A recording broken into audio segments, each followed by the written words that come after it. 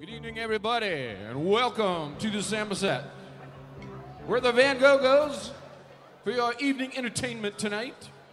And if there's anybody that appreciates rock and roll, we're thinking it's you guys. So we're gonna do some rock and roll for you.